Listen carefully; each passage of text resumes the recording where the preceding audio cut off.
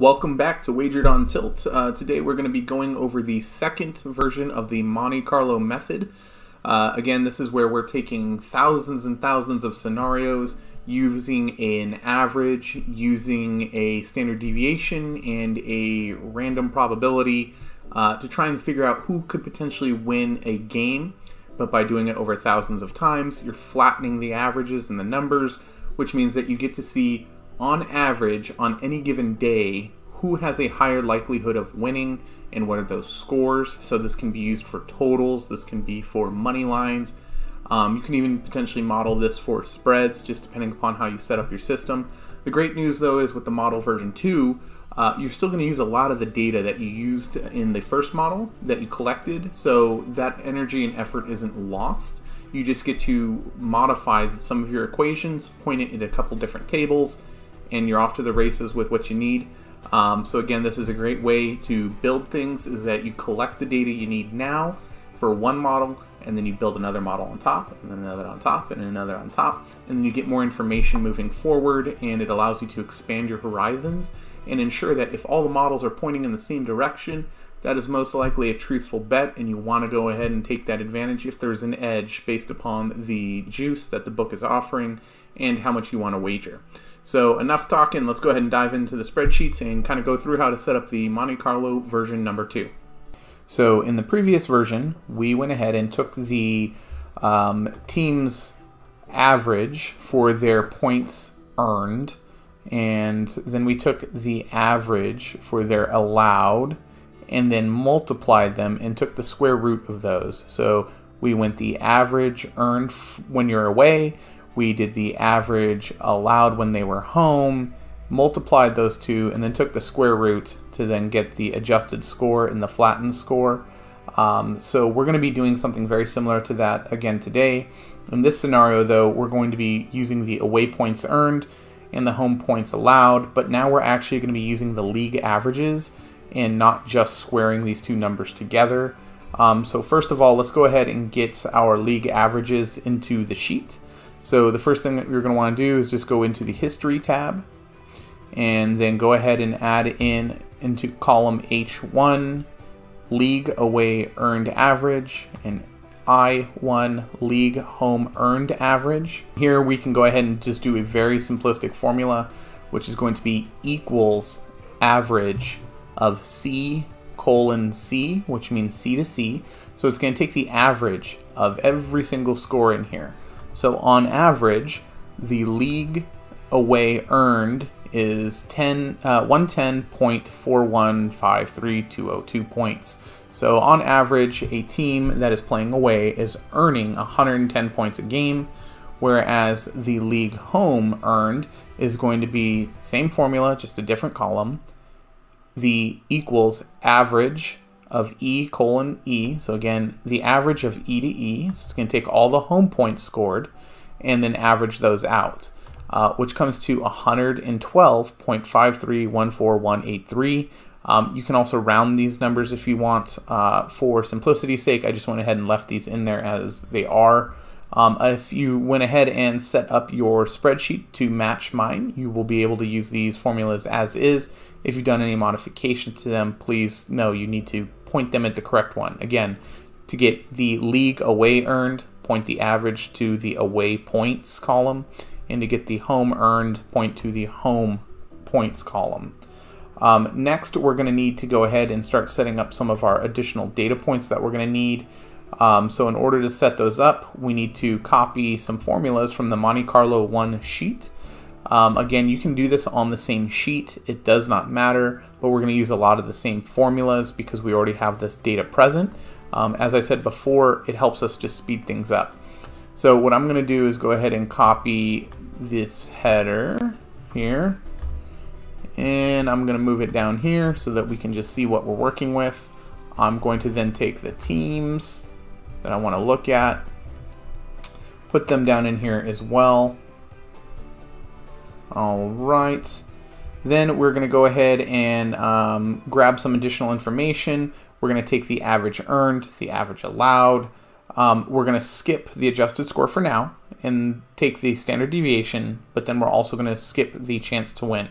So these two are going to require additional modifications. So we're just going to go ahead and take this formula. You want to actually go into the cell and copy it.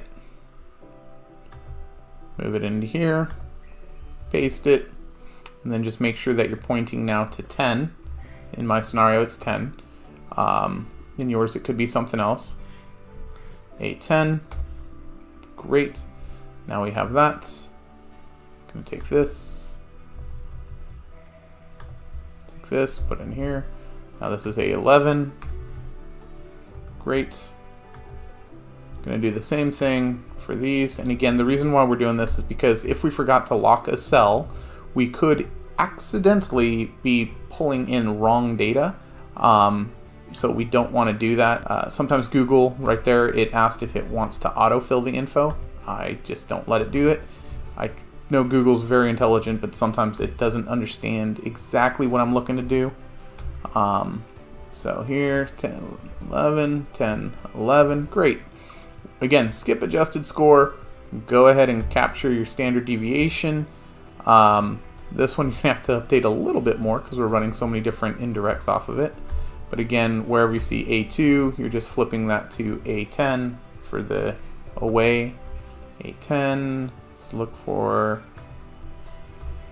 10. There's another A2. 10. All right, and I think we got them all here. Great. Grab the next standard deviation, and then A3 is going to convert into this last cell to A11. 11, A2, A2, A2, A3, uh, 2 or 3, 11. So punch that in. And a great way to evaluate that you did do this correctly. Just compare the numbers. Do they match up? Do they look good? If they look good and they matched up, you're all set. So now we've got our average earned, our average is allowed, and this is going to seem kind of simple um, and not too over the top complicated. But what we're going to do is we're going to go ahead and hit one parenthesis, two parenthesis, because it's going to be a large equation. We're going to take our average earned, divide that one by the league earned. And we're going to close that one.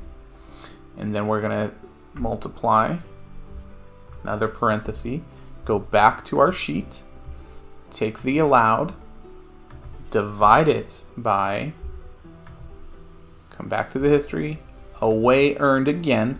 Now, this makes sense if you take a moment to think about it. The average points that an away team earned is also the average points a home team has allowed. I know it gets a little complicated if you overthink it, but try not to overthink it. It makes a lot of sense. Then you're going to take that value and multiply it by the league average earned. So what you're doing is something very similar that we discussed in the um, P-score models for the Poisson distributions, where we're going to take strengths, we're going to calculate an offensive strength, the home team's defensive strength, and then we're going to multiply it by the average. And that's really all we're doing here is we're taking, again, something we previously learned and adding a couple of things on top. 109.90 is the adjusted score. As you can tell, it's very similar to the score above. So we know that we haven't broken our formulas or done anything too crazy. So then here, we're just going to take B10, make it a B11, add our equals since I accidentally dropped that. And then this is actually going to go to C10 because that's the other allowed. And we're going to switch these out from H2 to I2 because again now we're going to take the home information I2 I2 hit enter Google Sheets is going to run the calculation here in a second. You'll see it right here, the little calculating formulas, because it's got a lot of stuff it's trying to understand right now. Alright, so it's saying 116 is their adjusted score.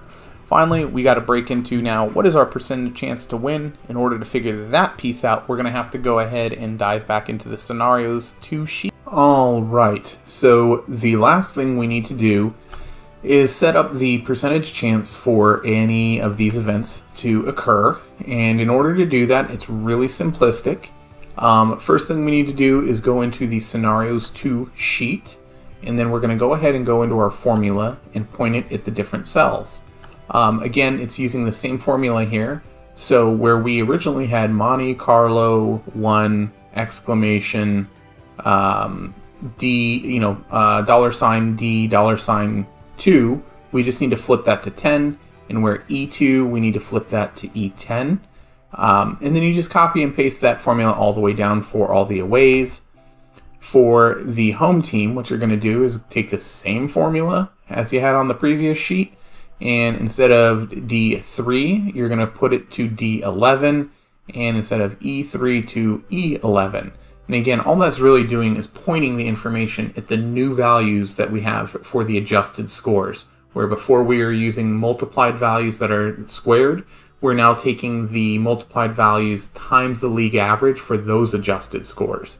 So we're just merely pointing the new data into this formula, and you'll just copy and paste it across all of the columns that you have. Once that is complete, you'll go ahead and do the same thing. What you're going to do is copy this formula from F2 down into F10. And instead of it just saying scenarios, you're going to go ahead and add a 2. And you're going to do that for each location where it's referencing that sheet. And that's all you need to do. The formula below that for F11 is just going to be 1 minus the value above, and then you'll just set these to be displayed as a percentage. Um, and that's it. So by just slightly tweaking the values that are in this formula over here in scenarios 2 to point to the new data coming in, and then updating the formulas here to same thing, you point to the correct data sheet. That's it. And once you've done that, you're all set and ready to go. It's that simple. Alright guys, so that is it for the Monte Carlo method number two. I hope that was helpful and insightful on how you can stack uh, data models and start using the same data that you took a lot of time to collect and scrub and just continuously reuse it. Uh, I'll do some follow-up videos in regards to linear regressions, correlations, um, and also start posting some videos around other types of data models and my own personal picks and what the outcomes were and why I made the selections that I did. Whether they won or they lost doesn't matter. Um, I'm going to be honest about what I selected and we'll kind of walk through the process that I was using to try and make these decisions. Um, until then, uh, happy wagering.